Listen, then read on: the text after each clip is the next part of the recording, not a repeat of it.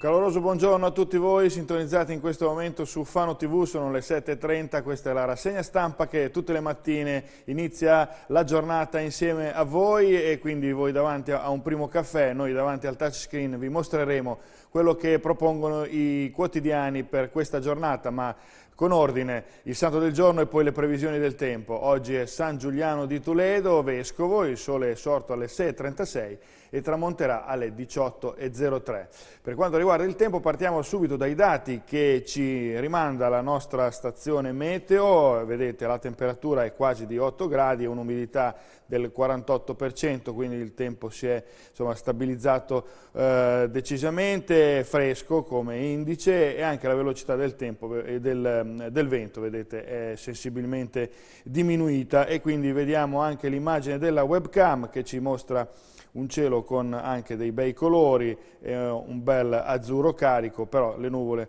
ci sono, quindi insomma è un'immagine che ci eh, rimanda a un dato di variabilità. E vediamo che cosa ci dice la protezione civile per, delle Marche per quanto riguarda questa e le prossime giornate, il cielo al primo mattino è nuvoloso, appunto come abbiamo anche, anche visto dalla, dalla webcam, eh, o molto nuvoloso, dipende dalle zone, con apertura in rapido dissolvimento sui settori centro-meridionali già nel corso del mattino e, e, per cui vedete la simbologia è chiara, c'è un po' di sole e un po' di nuvole. Le precipitazioni nei settori eh, meridionali eh, sparse altrove, anche sulla eh, fascia appenninica e le nevicate, il limite è salito, è, è sui 600 metri, temperature costanti. Vediamo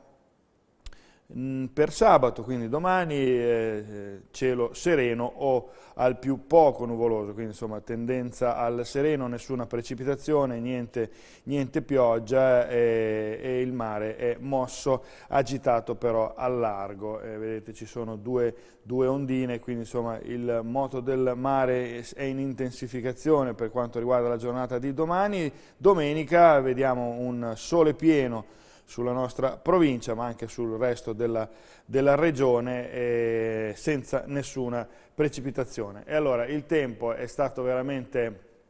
inclemente questi giorni, ieri soprattutto, e quindi anche i giornali riportano ampia documentazione di questo. Partiamo dalla tragedia purtroppo che ha colpito la eh, 49enne dipendente Ersu, eh, cade eh, Pino nel colle dei Cappuccini e tragedia si è eh, consumata. Ieri mattina a Urbino, la donna è stata colpita al torace dal, eh, dal tronco, vedete i lavori dei vigili del fuoco per riportare in sicurezza il sito, questa è la, la foto della, della, dipendente, il decesso in ospedale eh, si recava appunto al lavoro e ai colleghi, eh, e dai colleghi e non si è accorta della caduta e è deceduta all'ospedale. Eh, il Carlino dedica poi la pagina 4 e 5 eh, con ampie documentazioni fotografiche su questa giornata di maltempo, noi vi mostriamo soltanto una, il furore del vento, vedete dalle foto si capisce benissimo che tipo di giornata è stata, i vigili del fuoco, vedete con questo albero eh, praticamente adagiato su una struttura, eh, insomma sono stati tantissimi gli interventi che i vigili del fuoco sono stati chiamati ad effettuare, sempre pronti, sempre eh, rapidissimi per mettere in sicurezza tutte le situazioni di pericolo. E anche il Foglia, torna a fare paura. Provvidenziale, la diga di Mercatale e il torrente Arzilla ha creato allarme solo in nottata, meno critica la situazione del, del Genga. Le raffiche hanno scoperchiato decine di strutture leggere e all'Obi, l'ipermercato dell'Obistica di Pesaro, volano via i pezzi della copertura.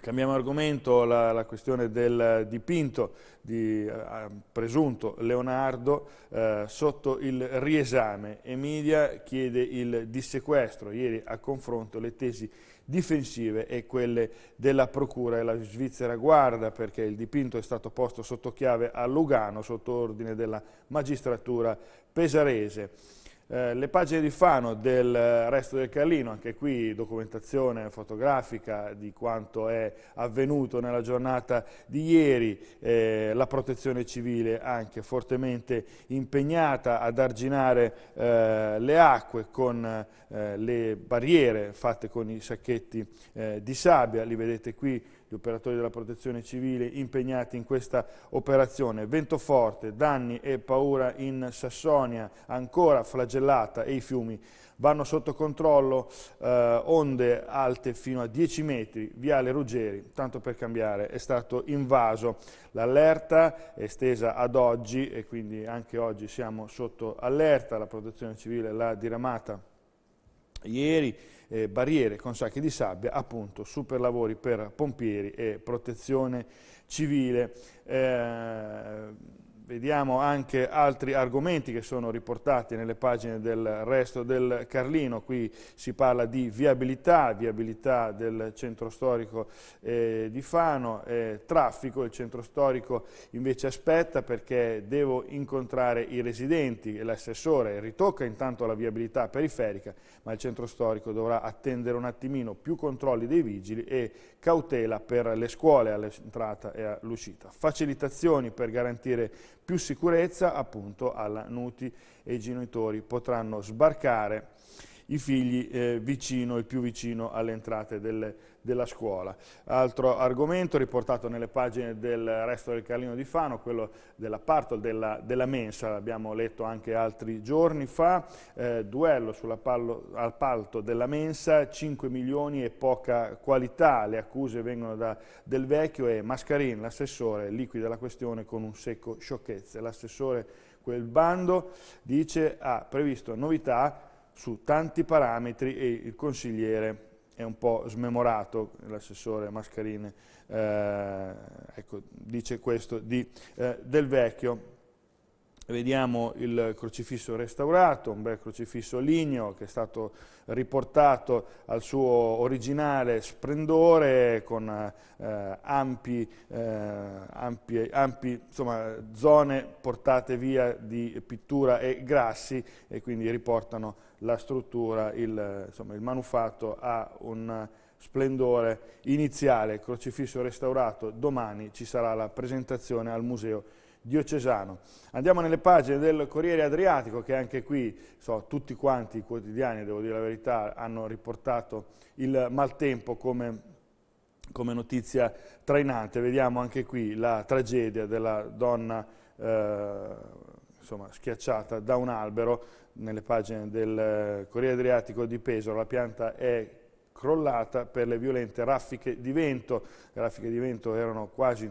quasi intorno ai, ai 100 km all'ora, dipende un po' da, da, dalla zona. Rita Bucarini, 48 anni, era scesa dall'autobus. Veramente una fatalità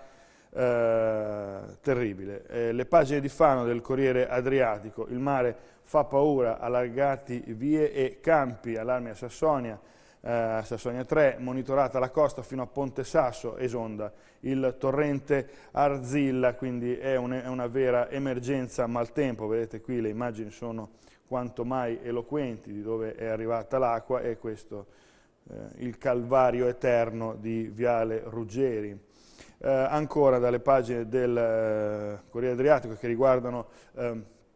Fano, si parla della questione del lavoro, Rencicotti, il fallimento della politica, Celani boccia la proposta di Severi per assunzioni in ASET, si cerca un'altra soluzione. E poi un solo sportello, ore d'attesa all'Inps. Unico impiegato non ha potuto smaltire le code in tempi ragionevoli non è stato il primo episodio, il tutto si è verificato mercoledì mattina e tensioni nella, appunto, nella sede fanese eh, le proteste di Poligioni di Prima l'Italia.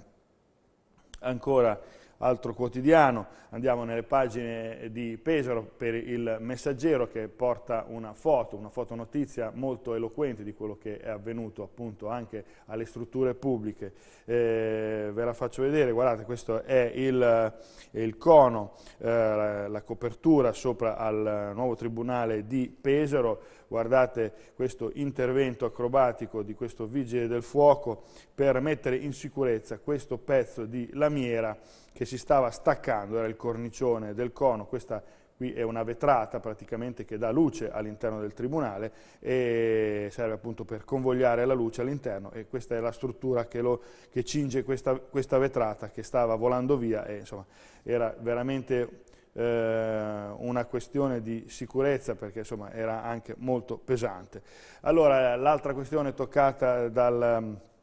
messaggero, lista PD eh, chiusa la fase delle primarie, si va verso le elezioni regionali, eh, però anche un, verso un braccio di ferro perché insomma, le primarie hanno creato eh, diversi malcontenti, un po' di tensione, eh, Giovannelli ha espresso tutto il suo dissenso su questa cosa e insomma, si è arrivati un po' ai, ai materassi, come si dice, Ceriscioli ha vinto le primarie ma l'assemblea eh, che ratifica le scelte è in mano ai sostenitori di Piero Marcolini. Ecco, eh, Comi eh, pronto a chiedere la deroga per un terzo mandato, Ricci eh, dice è l'unico a cui spetterebbe una wild card. Eh, e Giovannelli e Agostini appunto si sono affrontati in transatlantico a Roma, eh, insomma c'è stato un alterco tra, tra i due proprio su questa questione ancora dalle pagine di Pesaro, eh, c'è una struttura sportiva cara a tutti i pesaresi, insomma, e agli amanti del basket, che è appunto l'Hangar, che ha visto pagine di gloria cestistica scritte negli anni passati, quando era ancora in auge. Si tenta di riportarlo a una nuova vita. Walter Scavolini, che insomma, ha legato il suo nome allo scudetto, vinto appunto in quel palazzetto, e, insomma, vuole, eh, vuole riportarlo alla giusta gloria. Allora mantengano la promessa, penso che quell'impegno l'impianto sia importante per la città. Il progetto studiato negli ultimi anni era troppo costoso, ora siamo tornati più o meno all'idea originale, eh, diventerà un contenitore, ci saranno degli uffici, insomma ci sarà eh, tanto da fare per quella struttura che poi tra l'altro è anche proprio a ridosso del centro storico, quindi insomma è una struttura ben visibile anche a quanti percorrono la statale, la nazionale. Martedì eh, appunto il passaggio in giunta, poi i tecnici inizieranno a elaborare il piano definitivo. Guardiamo anche la, la, la sicurezza, eh, tema importantissimo questo eh, perché insomma, i furti negli appartamenti in questo articolo del Messaggero sono snocciolati un po' anche dei dati, dei numeri che sono importanti e questa situazione che si viene a creare dei furti in appartamento dà una netta sensazione di insicurezza al cittadino. Allora la risposta qual è? L'arrivo annunciato dal prefetto Pizzi durante il comitato sull'ordine pubblico eh, agiranno nella vigilanza e nella lotta all'abusibismo. Eh, 20 militari in strada, in aumento appunto, come vi dicevo, i furti negli appartamenti e nei negozi e diminuiscono le rapine e i reati legati alla droga eh, però questi militari ecco, che pattuglieranno le strade daranno così questa, faranno percepire una maggiore eh, sensazione di sicurezza a tutta la cittadinanza. CRAS, eh, appunto il centro recupero degli animali selvatici, la regione ritrovi le risorse o si chiude, eh, vedete il presidente della eh, provincia di Pesaro, il, il servizio prolungato fino al 12, ambientalisti eh, vanno verso un sit-in, un sit-in di eh, protesta. Ultima pagina che affrontiamo, come sempre, è quella del messaggero di Fano e allora vediamo eh, la notizia principale, è quella delle mense. No al mega appalto, botta e risposta tra UDC e Comune del Vecchio chiede garanzie, 40 posti saranno eh, soppressi e quindi la risposta dell'assessore Mascarin che replica spregiudicato alimentare paure infondate e nessuno perderà il lavoro. Eh, poi un intervento in extremis, una bambina di 11 anni ingerisce candeggina, è stata salvata, la ragazzina è stata trasferita al Salesi e la polizia indaga su questo, su questo episodio, ex zuccherificio,